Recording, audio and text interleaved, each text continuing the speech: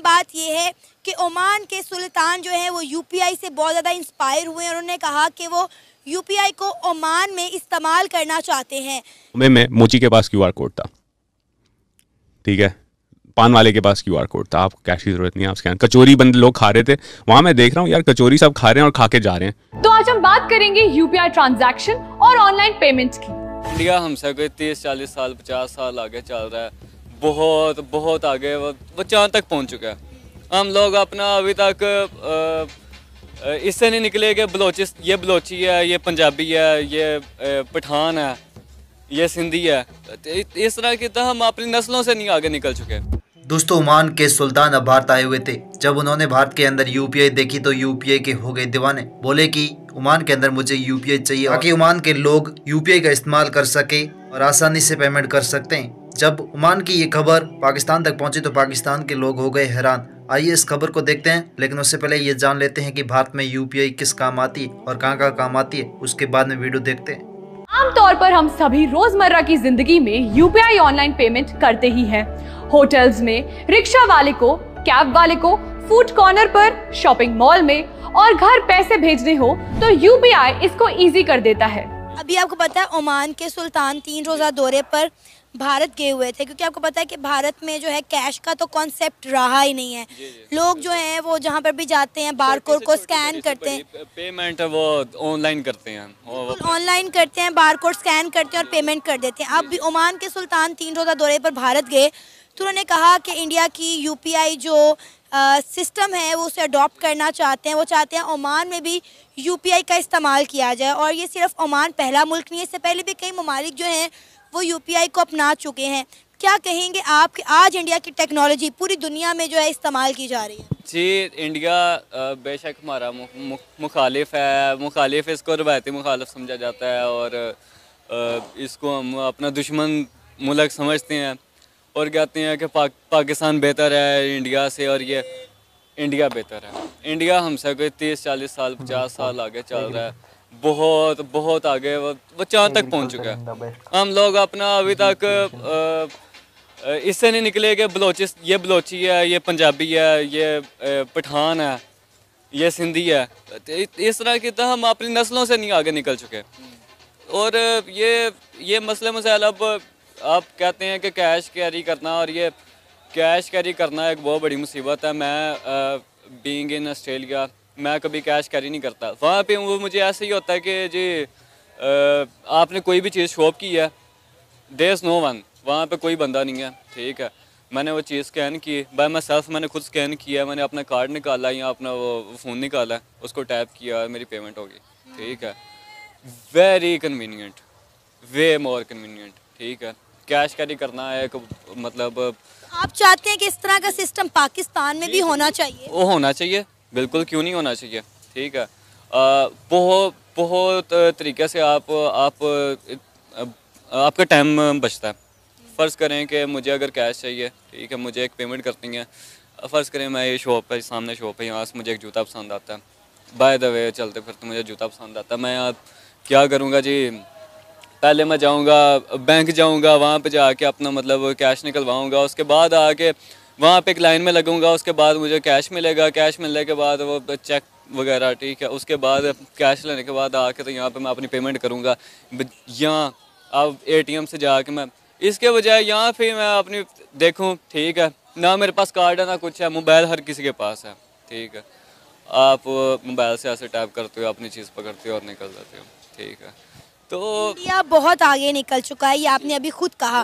तो आपको नहीं लगता कि हमें अपने हमसाय मुल्क से कुछ सीख सीख लेना चाहिए? चाहिए ज़रूर सीखना चाहिए। अपने अपने जो कंसेप्ट हैं इनसे आगे निकलें। अपना दुनिया को देखें ठीक है? तरक्की की तरफ़ चलें ठीक है?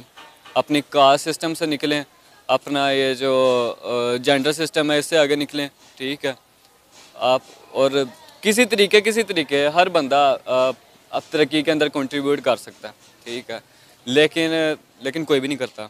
हर बंदा ये बात ज़रूर करता है कि यार बेहतर होना चाहिए निज़ाम बेहतर होना चाहिए किसी तरीके ना कि ये हमारे इस्लामिक कंट्रीज़ इंडिया से ये टेक्नोलॉजी ले रहे हैं। तो क्या हम इंडिया से नहीं ले सकते? हमारा तो हमसाया मुल्क है ना माँ जाए हमारे तो बॉर्डर भी साथ साथ लगते हैं। तो पूरी दुनिया इस वक्त इंडिया से फ़ायदा उठा रही है पाकिस्तान इंडिया से फ़ायदा क्यों नहीं उठा सकता? जी इसलिए नहीं फ़ायदा उठा सकता कि ये कहा जाता है कि ये हमारा मतलब दुश्मन मुल्क है। लेकिन जो बिजनेसमैन आदमी है, वो कभी भी ये नहीं कहता, वो उसका एक बिजनेसमैन एक समझदार आदमी के लिए गुर्बत दुश्मन है, ठीक है, और उसका दोस्त पैसा, ठीक है। वो लोग बिज़नेस करना चाहते हैं, उनके पास एक टेक्नोलॉजी है। अगर आप वो टेक्नोलॉजी चाहते हैं पे दें वो टेक्नोलॉजी आप अडाप्ट करें। और इंडिया जो है अपनी तरक्की की राह में अपनी ट्रेड की राह में ये नहीं सोचता कि ये हिंदू है ये मुस्लिम है ये सिख है ये ईसाई है ये किस कंट्री से ताल्लुक़ रखता है किस मज़हब से ताल्लुक़ रखता है उन्हें अपने मुल्क की बेहतरी चाहिए और उसके लिए वो हर मुल्क के साथ ट्रेड करते हैं। अब आप देख लें कि कितनी इस्लामिक कंट्रीज़ हैं जिनके साथ इंडिया ट्रेड कर रहा है। सवाए पाकिस्तान के, अब ओमान के सुल्तान इंडिया गए हैं तीन रोज़ा दौरे पर। वहाँ पे इंडिया की एजुकेशन पॉलिसी के बारे में उन्होंने जाना, उन्होंने साइंस एंड टेक्नोलॉजी के बारे में देखा उन्होंने फ्री ट्रेड पर बात की, इसके अलावा एंटी टेररिज्म पर बात की। ये बात होती है ना कि वो लोग गए, एक मुसलमान कंट्री का सुल्तान गया, जाके इंडिया में बैठा, इंडिया के साथ देखा कि इतना बड़ा जमहूरियत जिस मुल्क में है जहाँ पर इतना बड़ा मुल्क जिसको चलाया जा रहा है वो किस तरह दुनिया की पाँचवीं बड़ी इकॉनमी बन गई इतनी तेज़ी से ग्रो कर रहा है? क्योंकि हम बार बार एक ही बात कहते हैं कि इंडिया की आबादी बहुत ज़्यादा है तो देखें इतनी आबादी को साथ लेकर चलना उतना ही ज़्यादा मुश्किल काम है। जी बिल्कुल। सर लोग इन चीज़ों के बारे में जानते हैं या इसको यूज़ करते हैं? मेरे ख्याल से ये इसमें जो हमारी नेशन है उसको इसका इतना पता नहीं है। और अमूमन जो ट्रांजेक्शन हो रही होती हैं वो कैश के थ्रू हो रही होती हैं या कोई कार्ड क्रेडिट कार्ड के थ्रू या डेबिट कार्ड के थ्रू कर रहे होते हैं। अब मेरे ख्याल से इसमें कोई इतनी ज़्यादा इन्फॉर्मेशन लोगों के पास नहीं है लेकिन इस अगर इस तरह हो जाए तो ये एक आई वुड से एक अच्छा आ, जो है वो स्टेप होगा। कैसे मैं जर्मनी में रहा हूँ और जर्मनी में आ, जो कैश हैंडलिंग है वो मैंने कभी इतनी ज़्यादा नहीं की जितनी मुझे पाकिस्तान में करनी पड़ती है। उसमें अमूमन आप जो है वो जाके कार्ड से पे कर सकते हैं या आप एप्पल पे के थ्रू जो है वो कर सकते हैं लेकिन जैसे आपने एग्जांपल दी इंडिया की तो इंडिया में जो है वो भी आप डिफरेंट बार कोड जो हैं वो सब्ज़ी वाले के पास वो किसी रेस्टोरेंट के पास जो है वो मौजूद होते हैं और आप सिंपली अपना वो बार कोड जो है वो स्कैन करते हैं और उससे जो है वो पेमेंट हो जाती है।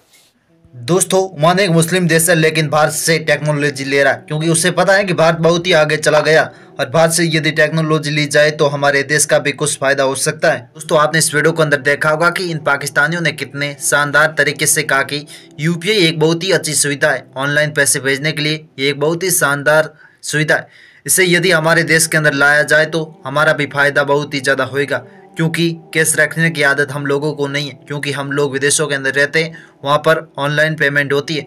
और यदि ये सुविधा पाकिस्तान के अंदर आ जाती है तो पाकिस्तान को बहुत ही ज़्यादा फ़ायदा होने वाला और दोस्तों, पाकिस्तान के ये लोग ओमान को यूपीआई को लेते हुए देख बहुत ही हैरान हो चुके क्योंकि उमान एक मुस्लिम देश है, और इसे देखकर पाकिस्तान की मीडिया रिपोर्टर भी हैरान है कि ऐसा कैसे हो सकता है।